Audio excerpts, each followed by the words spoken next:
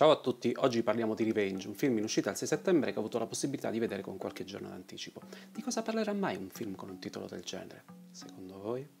Jenny è una ragazza bella e seducente e viene invitata dal suo ricco amante in una villa nel deserto per un weekend di passione. Qui i due vengono raggiunti dai due soci dell'uomo e la ragazza diventa l'oggetto del loro desiderio e subisce uno stupro. Ma non è tutto, perché gli uomini vogliono disfarsi di lei, sostanzialmente la vogliono morta. Parte così una feroce caccia all'uomo, ma come il titolo lascia intuire, Jen reagisce e la preda diventa cacciatore. Il rape revenge movie è un sottogenere che spopolava negli anni 70 e che conta decine e decine di pellicole. Film in cui la protagonista viene abusata o torturata e lasciata a morire, ma sopravvive in qualche modo e uccide uno dopo l'altro tutti i suoi aguzzini per vendicarsi. La particolarità di Revenge sta nel fatto che è stato scritto e diretto da una donna, Coralie Farge. E non è un dettaglio, certe scene colpiscono molto di più se a girarle non è stato un uomo. Le urla di gente entrano nella testa come la scena dello stupro di Strange Days di Catherine Bigelow, non a caso un'altra scena feroce in cui la vittima è una donna e la regista è un'altra donna. Qualcuno potrebbe erroneamente pensare che una pellicola di questo tipo in mano a una donna non venga fuori cruda e violenta come il sottogenere impone. Sbagliato, Revenge è un film che gronda letteralmente sangue, assolutamente viscerale che non risparmia alcun cazzotto nella pancia o coltellata in faccia là dove serve. La protagonista è un'attrice italiana Matilda Lutz che è nata a Milano anche se si è trasferita negli Stati Uniti ed è apparsa in film di Veronesi, di Muccino, in The Ring 3 e nella serie tv dei Medici.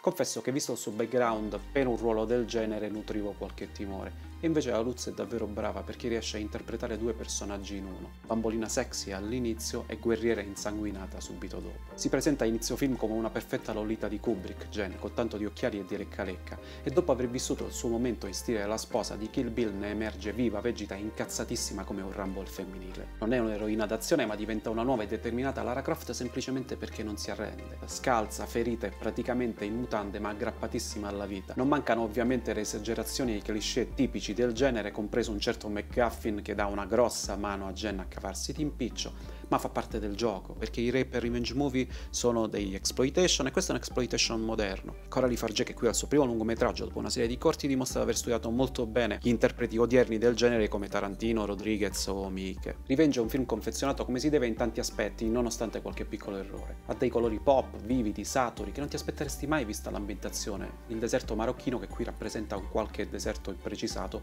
che potrebbe trovarsi in qualsiasi continente. Un deserto che finisce per rappresentare nel film quasi una sorta di personaggio a sé, come in Mad Max Fury Road. Eppure sono scelte visive molto azzeccate che tra l'altro si sposano benissimo con i momenti in cui la colonna sonora si avventura nell'elettronico. Ma anche dal punto di vista più prettamente tecnico c'è del bel cinema, come dimostra un lunghissimo piano sequenza poco prima del finale davvero notevole. Insomma è un film avvincente e stiloso, una sorta di punto di incontro tra l'exploitation movie e il punto di vista femminile per quanto possa suonare strano. È un film che ti tiene sul filo Revenge, anche se ovviamente sai come andrà a finire. Basta non essere deboli di stomaco perché, come dicevo, di sangue ne scorre a fiumi. Una violenza irreale al punto da essere quasi comica, come ha dichiarato la regista. Ha studiato Tarantino. In mano ad altri molto probabilmente questa trama sarebbe sfociata nell'ennesimo rape e revenge uguale a tutti i precedenti.